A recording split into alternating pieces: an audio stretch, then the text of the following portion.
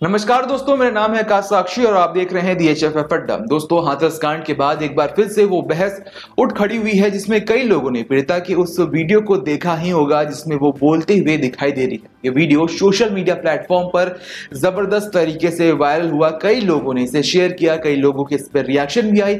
Share करने वालों में अमित मालवीय भी हैं। अमित मालवीय कौन? Amit Malviya BJP IT cell के हेड है और उन्होंने भी इस वीडियो को पोस्ट किया, जिसे लेकर विवाद खड़ा हो गया है। इस बात को लेकर कि जब सुप्रीम कोर्ट कहता है कि पीड़िता की पहचान को आप किसी भी सूरत में उजागर नहीं कर सकते, चाहे वो दुनिया से चली ही क्यों न गई हो।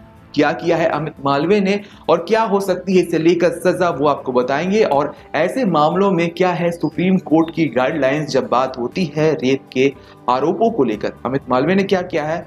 वो पहले जानिए। अमित मालवे पिछले कुछ दिनों से हाथरस मामले पर ट्वीट कर रहे हैं और इसी कड़ी में अमित मालवे ने 2 अक्टूबर को एक वीडियो ट्वीट किया था। इसमें बताया जा रहा है कि पीड़िता लड़की का चेहरा साफ़ तौर पर देखा जा सकता है, जिसे लेकर कानूनी कार्रवाई भी हो सकती है। इस वीडियो को ट्विटर पर शेयर करते हुए अमित मालवीय ने लिखा कि हाथरस की पीड़िता अलीगढ़ मुस्लिम यूनिवर्सिटी के बाहर एक रिपोर्टर को बता रही है कि उसका गला घोटने की कोशिश हुई। जैसा कि कहा जा रहा है कि इस वीडियो में मृतक युवती का चेहरा साफ़ नज़र आ रहा है तो उससे लेकर ये कहा जाता है कि भारतीय कानूनों के अनुसार यौन हिंसा के मामलों में पीड़िता की पहचान ज़ाहिर नहीं की जा सकती। यहाँ की यौन हिंसा तक या बलात्कार का शक होने पर भी पीड़िता की पहचान ज़ाहिर नहीं की जा सकती। पर अमित मालवीय ने इस वीडियो को पोस्ट करते हुए लिखा कि इसका मतलब ये नहीं कि अपराध को कम आगा जा रहा है, लेकिन एक गंभीर अपराध को दूसरे किसी गंभीर अपराध का रंग देना उचित नहीं।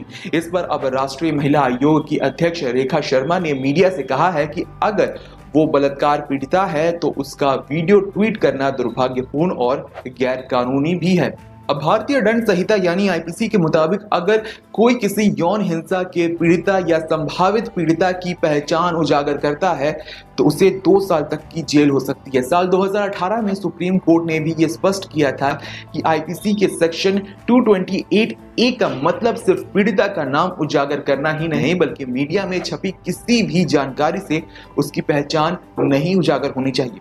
कोर्ट ने यह भी कहा था कि पीड़िता की मौत के बावजूद भी उसकी पहचान उजागर नहीं की जा सकती, चाहे उसके परिवार ने भी इसकी इजाज़त क्यों न दे दी हो। पर यहाँ अमित मालवे ने अपने ट्वीट्स के ज़रिए ये बताने की कोशिश की है कि ये यौन हिंसा का मामला है ही नहीं। हाथरस की घटना को लेकर अमित मालवीय ने और भी कई ट्वीट्स किए हैं।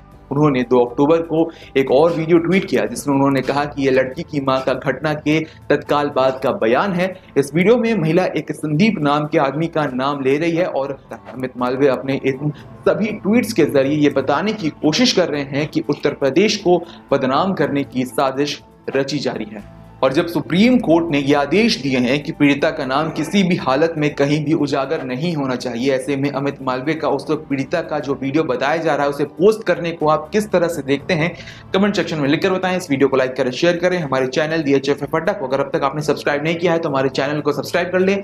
इस वीडियो को यहाँ तक देखने के लिए आपका धन्यवाद। नमस्कार।